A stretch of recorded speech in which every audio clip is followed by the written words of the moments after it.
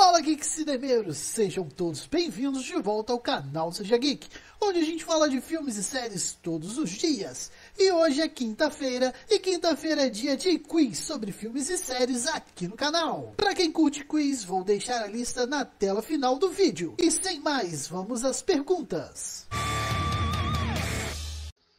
Pergunta número 1. Um.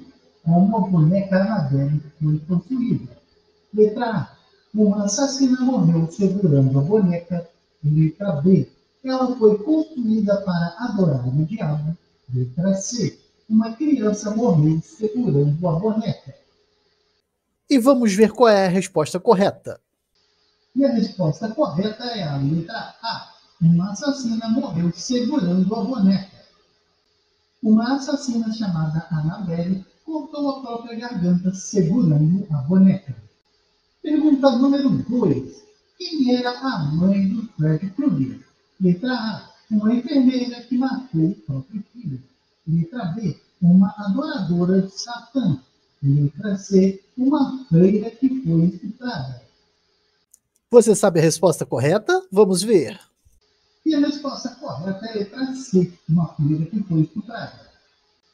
Amanda Kruger foi acidentalmente trancada em uma cela com psicopatas e ficou grávida de Fred ao ser estuprada por eles. Pergunta número 3. Afinal, por que Samara foi parar no poço?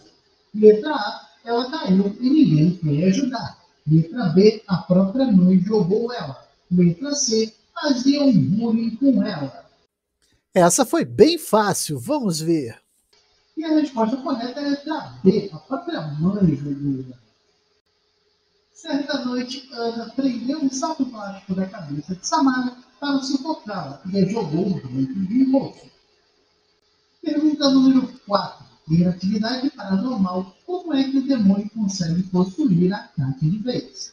Letra A. Quando ela abre um livro. Letra B. Quando ela tira o crucifixo. Letra C. Quando ele a morte. E a resposta correta é. E a resposta correta é a letra C, quando ele a. Ele a morde e deixa uma marca. E a última pergunta de hoje a pergunta número 5. Em Arraste-me para o Inferno, o que a bruxa usa para amaldiçoar a protagonista? Letra A, uma boneca. Letra B, um botão. Letra C, uma colher. Essa, para quem acompanha o canal Seja Geek, tá muito fácil. E a resposta correta é um botão. Um simples botão faz todo um estrago. E aí, pessoal, como foi o seu resultado do quiz? Não deixe de comentar aqui embaixo. E se inscreve, deixa o seu like para ajudar a crescer essa comunidade geek.